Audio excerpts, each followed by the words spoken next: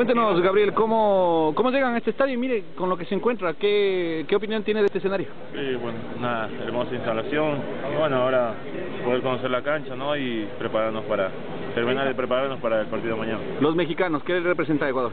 Ah, obviamente va a ser un lindo partido, una selección eh, con mucha historia, con buenos jugadores, así que, que, bueno, nosotros queremos hacer un gran partido el día de mañana y, y bueno, seguir